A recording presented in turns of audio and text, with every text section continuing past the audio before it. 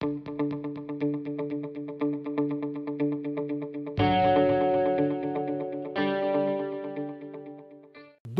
э, до того я э, как бы не испытывал ни- никаких враждебных каких-то, так сказать, эмоций в отношении э, Азербайджана. И у меня сейчас нет никаких, так сказать, никакой неприязни к азербайджанскому народу, к азербайджанской культуре как таковой. Потому что, но только что называть азербайджанской культурой? Понимаете, когда мне говорят, что Низами великий азербайджанский поэт, ну простите, это то же самое, как э, Левитан великий израильский художник. Ну, или Марис Равель великий баский композитор. Вот То, то, о чем э, я все время говорю. Этническая э, принадлежность э, того или иного художника в данном случае не имеет значения. Важен вклад. Вклад художника в ту или иную национальную культуру. Я не знаю, был ли Низами по происхождению тюрком, я вполне допускаю, что, может быть, он был тюркского происхождения, может быть, он и родился, я просто не знаю, может быть, он и родился на территории современного Азербайджана, но Низами, конечно же, великое явление великой иранской культуры. А об азербайджанской культуре э, мы можем говорить с того момента, когда начинает складываться э, азербайджанский язык как современная форма, лингвистическая форма и основа литературного языка. Это происходит только где-то к XIX веку. Об этом, ну, ну, так сказать, если не, не верите мне, ну, посмотрите Британику, Иранику, там, если не верите там э, советской энциклопедии Брагауза и Фрону, ну, ну, пожалуйста, посмотрите в любу- любую, так сказать, открытую э, справочную литературу. Азербайджанский язык, как основа литературного творчества, он формируется в существующем виде только к XIX веку. Поэтому мы можем говорить, что да, великий Ахундов, да, э, великий Каракараев, а, да, Таир Салахов, конечно, это прекрасные, блистательные мастера культуры, художники, поэты, э, композиторы.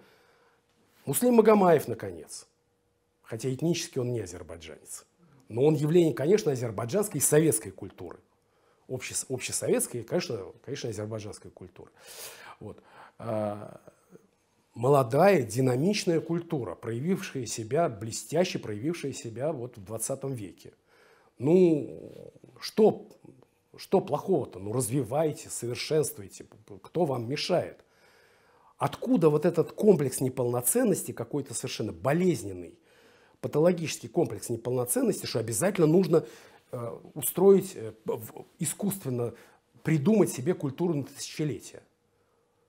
Что, что плохого в том, что ваша культура молодая? Что в этом плохого? Зачем ее искусственно, так сказать, и, и ради этого заниматься культурным воровством? Ну, это вот патологический этот комплекс неполноценности, но, конечно, конечно в его основе сугубо шовинистические э, комплексы. Ведь мне даже вот многие армяне говорили, из бакинских армян, из там генджийских, кто оттуда бежал, кто вот в Москве перебивался, эм, вот, э, вот в эти годы изгнания. Они говорили, что ну, там типа, а родители наши ничего плохого не говорили, там вот до 70-х годов вроде все нормально было.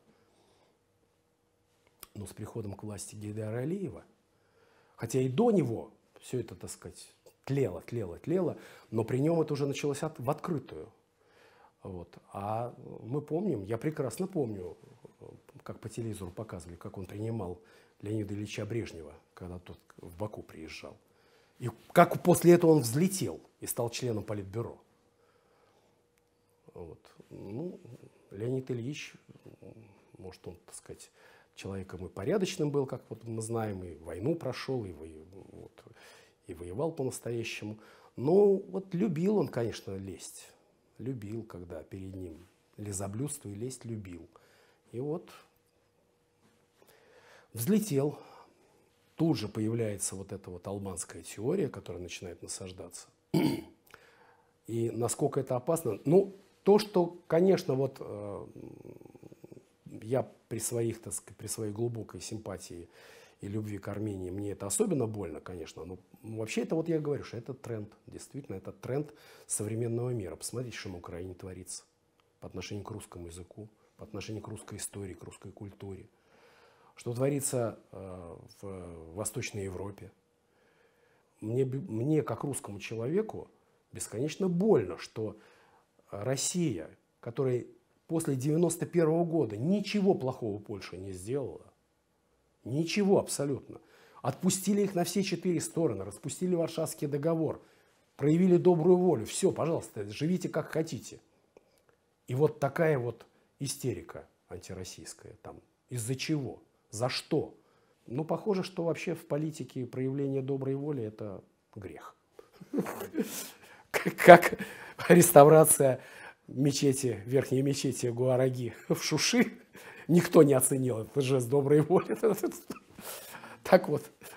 Вот. Так что это, э, к сожалению, действительно мировой тренд, который сейчас вот переписывание истории и вот э, изничтожение национальных культур, особенно тех национальных культур, которые оказываются на пути неких глобальных мировых сил. Вот в данном случае Россия оказала, оказалась костью в горле на пути мировой глобализации сейчас, все, что мы видим. А Армения оказалась, так сказать, на пути пантюркизма, который в данном случае мировое глобалистское, так сказать, правительство, оно позволяет проявляться вот пантюркизму.